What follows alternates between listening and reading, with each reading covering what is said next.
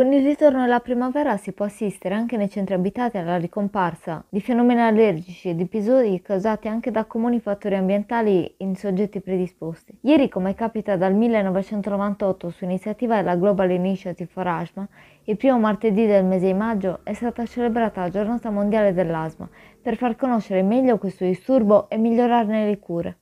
La tematica proposta per il 2022 è stata quella che viene definita Closing Gaps in Asthma per cercare soluzioni a difficoltà specifiche nella gestione della patologia asmatica, nella sua diagnosi e nelle cure adeguate.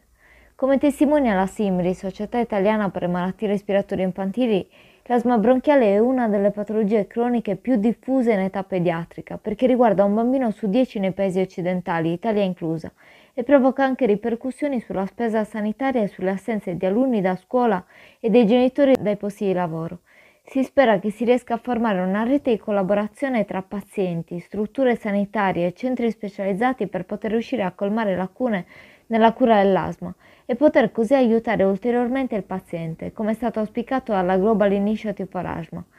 La SIMRI, in collaborazione con la Società Italiana di Pediatria, SIP,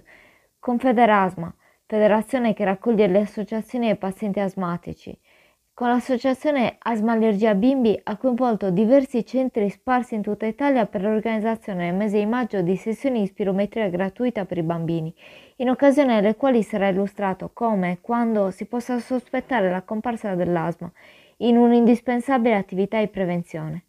Inoltre è stata realizzata una brochure scaricabile sul portale della Società Italiana per le Malattie Respiratorie Infantili che verrà distribuita nei vari centri Simri. Questi sono solo alcuni dei passi che vengono compiuti costantemente per migliorare la vita.